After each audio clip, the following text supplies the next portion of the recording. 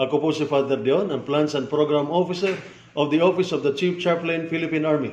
At ito po ang salita ng Diyos, ang ating gawain.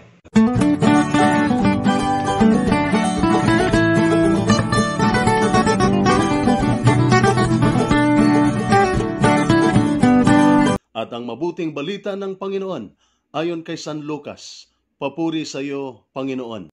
Nagsalita uli si Jesus sa kanyang mga alagad. May taong mayaman na may isang katiwala. May nagsumbong sa kanyang nilulustay nito ang kanyang ari-arian. Kaya't ipinatawag niya ang katiwala at tinanong, Ano ba itong naririnig ko tungkol sa iyo? Ihanda mo ang ulat ng iyong pangangasiwa sapagkat tatanggalin na kita sa iyong tungkulin. Sinabi ng katiwala sa kanyang sarili, Ano ang gagawin ko? Aalisin na ako ng aking amo sa pangangasiwa. Hindi ko kayang magbungkal ng lupa. Nahihiya naman akong magpalimos. Ah, alam ko na ang aking gagawin. Malis man ako sa pangangasiwa, ay may tatanggap naman sa akin sa kanilang tahanan. Isa-isa niyang tinawag ang mga may utang sa kanyang amo. Tinanong niya ang una, Gaano ang utang mo sa aking amo? Sumagot ito, Isandaang tapayang langis po. Ito ang kasulatan ng iyong pagkakautang. Dali, maupo ka at palitan mo. Gawin mong limampu, sabi ng katiwala.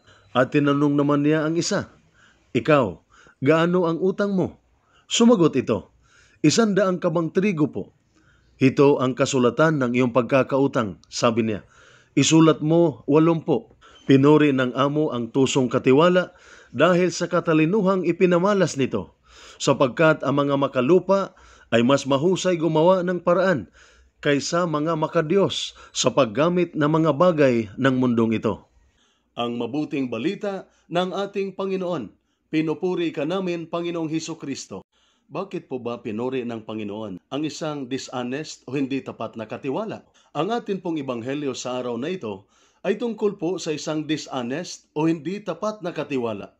Hindi po sinasabi ng ating Panginoon nang ginagawa ng isang dishonest o hindi tapat na katiwala ay karapat dapat nating sundin o gayahin. Hindi po niya sinasabing gayahin natin ang kanyang ginawang paglustay sa kayamanan ng kanyang amo. Hindi po tapat ang nabanggit na katiwala, hindi po siya makatotohanan. Ngunit ang karapat dapat ng ating pansin ay ang kanyang pagsisikap at katalinuhan upang maiwasan niya ang sakuna sa kanyang trabaho at sa kanyang buhay. Sa kanyang nalalapit na pagkatanggal at pagkaalis sa trabaho, ginamit ng katiwala ang kanyang diskarte. Tinawag niya ang lahat ng may utang sa kanyang amo at ito'y kanyang binawasan upang makuha niya ang kanilang loob. Ang tinuturo po sa atin ng Ebanghelyo ay ganito, If we are capable of making great sacrifices for the earthly goods, then we must also make greater sacrifices for our spiritual goods. Kung nag-exert tayo ng extra effort at ginamit ang ating katalinuhan upang maiwasan ang ating personal crisis, mas lalo tayong mag-exert ng extra effort at gamitin ang ating katalinuhan upang maiwasan ang spiritual damnation. Ngayon, lubos nating maintindihan ang pagpuri ng amo sa kanyang hindi tapat na katiwala. Ibuhos natin ang ating lakas at gamitin natin ang ating pagkamalikhain upang ating makamtan ang makalangit na mga bagay tulad ng ating pagsusumikap na makamtan ang makamundong bagay, tulad ng ating pag-alala para sa ating personal safety and achievement, mas lalo tayong mag-alala at more focus sa ating spiritual achievement. Kailangan nating bigyang pansin at pagsikapan ang kaharian ng langit kaysa ating mga personal interest. At sa pamamagitan nito, makuha din natin ang papuri at parangal mula sa ating Panginoon. Kaya, masigla at masigasig tayong makamtan ang ating kinabukasan at kayamanan sa langit kaysa ating temporary security. Ituon natin ang ating pansin at nakatingin sa kaharian ng langit at hindi lamang sa mga bagay ng mundong ito. Pagplanuhan nating mabuti ang ating pagpatayo ng tahanan sa kaharian ng langit at hindi lamang ang pagpapatayo ng magarang tahanan sa mundong ito. Kaya muli, bakit po pinuri ng Panginoon ang isang dishonest o hindi tapat na katiwala? Ito po ang salita ng Diyos, ang ating gabay. Let us pray.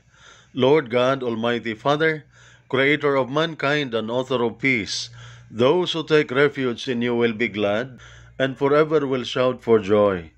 Protect our soldiers as they discharge their duties. Protect them with the shield of your strength and keep them safe from all evil and harm. Grant them courage and hope.